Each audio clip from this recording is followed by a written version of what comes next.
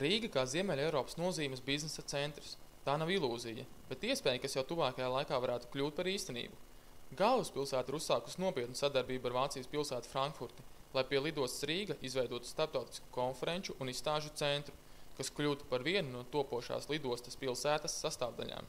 Man ir prieks, ka Rīga ir izvēlēta viena no daudzajām pilsētām kā vieta, kurā šāds projekts var tikt realizēts. Un man ir liels prieks, ka šo projektu realizēt mēs padarīsim Rīgu tiešām par unikālu vietu ne tikai Baltijā, bet visā Ziemeļa Eiropā. Mērķis ir padarīt Rīgu šo jauno izstāžu kompleksu par lielāko Ziemeļa Eiropā. Un Frankfurts Mēs piemērs parāda to, ka Frankfurta ir neliela pilsēta ar 680 tūkstošiem iedzīvotāju, bet šajā pilsētā reāli vairāk kā 150 tūkstoši cilvēki ir saistīti ar aviācijas biznesu, un vienlaicīgi tas nodrošina to, ka Frankfurtas mese, tātad izstāžu kompleks Frankfurtē piesaist cilvēks no visas pasaules. Es ceru, ka nākotnē Rīgā notiks kaut kas līdzīgs. Lai diskutētu par šo ieceri, 16. jūnijā Rīgā notika seminārs, kurā piedalījās ārvalstu un Latvijas eksperti, tajā skaitā no Messe Frankfurt. That it was the right choice for Messe Frankfurt and its partners to choose Riga due to its rich and large history and its perfect strategic location to support the development of a sustainable and successful convention and exhibition center here in your very beautiful city.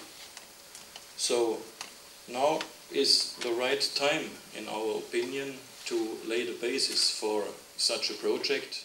Ziņa, kā arī Frankfurte saprata, ka Rīga ir tas sadarbības partneris, ar kuru vajadzētu runāt, varētu runāt, un šī izvēle tiešām krit uz mums, faktiski mums, noteikti mūs dara lepnus, un mēs noteikti nedrīkstam šo situāciju neizmantot pareizā veidā, pareizā laikā, realizējot šo projektu. Iecerēts, ka daudzfunkcionālais konferenču un izstāžu centrs nodrošinās Rīgas lidostu un tās apkārtni ar visiem nepieciešamajiem pakalpojumiem – sekmējot tā dēvētās lidostas pilsētas izveidi.